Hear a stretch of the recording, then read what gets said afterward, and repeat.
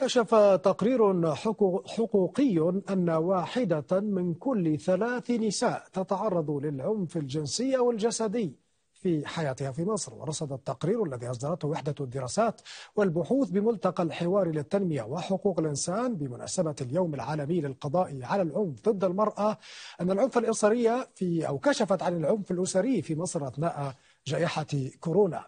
موضحا أيضا تعرض حوالي ثمانية ملايين امرأة مصرية لخطر العنف كل عام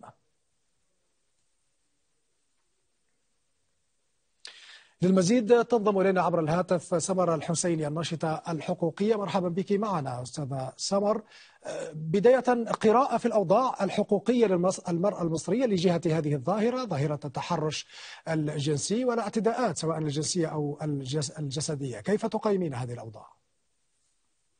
مساء الخير على حضرتك أهلا. يمكن الرقم اللي حضرتك ذكرته اللي هو 8 مليون ده العدد اللي كان عنده الشجاعة إنه يقوم بعملية الإبلاغ ده العدد اللي قدرنا أو قدرت الكيانات الحقوقية والكيانات الرسمية لتسجيله. ولكن إحنا بنبص على الظاهرة التحرش الجنسي هو سمة من سمات العنف ضد المرأة. وإحنا بنتكلم على إنه 99% من ستات مصر تعرضوا للتحرش. فدي عامل. في عامل تاني من عوامل العنف ضد المرأة متعلق بالإساءة اللفظية بالحرمان من الموارد المالية. بالحرمان من الوصول للتعليم. في أشكال مختلفة من العنف ضد المرأة يمكن ما بيتمش حتى إدراجها في الإحصائيات اللي إحنا بنتكلم عنها دي. فأنا أعتقد أن انتشار الظاهرة في المجتمع المصري أعلى بكثير من حتى الثمانية ملايين اللي هم اوريدي نسبة موزعة في المناسبة إحنا بنتكلم لو بنتكلم على مواطنين الدولة المصرية 100 مليون ف 8 مليون ده إحنا بنتكلم على الأقل من 8 ل 10% من المواطنين المصريات بيتعرضوا للعنف على شكل يومي. وطبعا يمكن التقرير اللي حضرتك اتكلمت عنه والعديد من التقارير رصدت قد إيه آه وباء كورونا وفكرة العزل ووجود الناس في المنزل لفترات طويلة. ده أصلا بيخلق أزمات نفسية. فده يمكن زود كمان حالات العنف المنزلي بشكل كبير في مصر.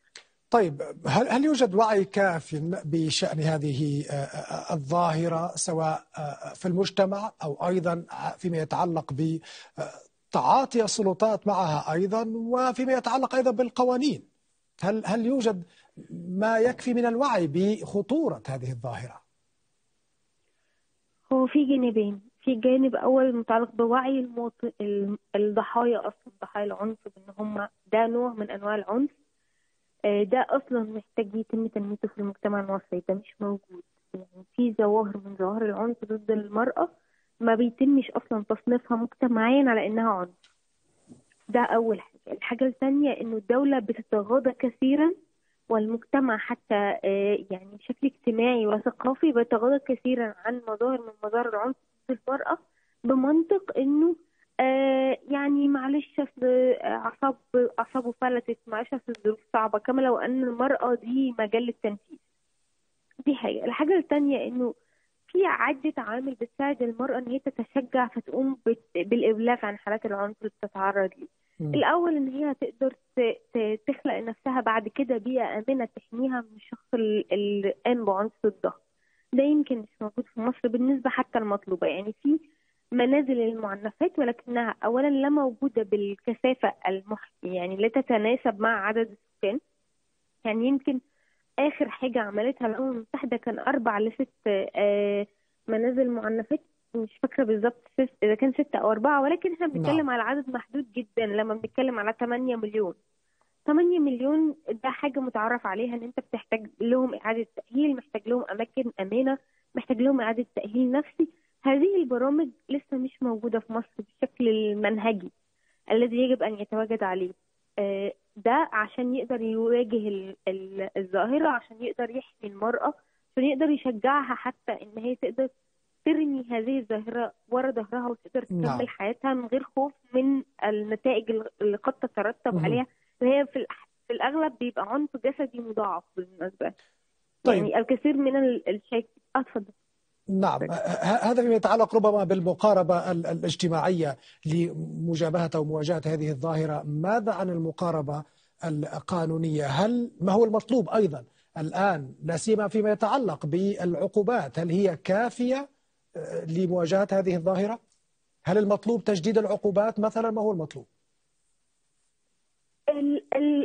أول حاجة أساسية خلق آليات لاستقبال الشكاوى ويمكن ده مش بس في العنف حتى في التحرش في كافة أشكال التمييز أو العنف ضد المرأة لابد من خلق آلية واضحة لاستقبال الشكاوى تتفهم وضع الضحية في اللحظة دي.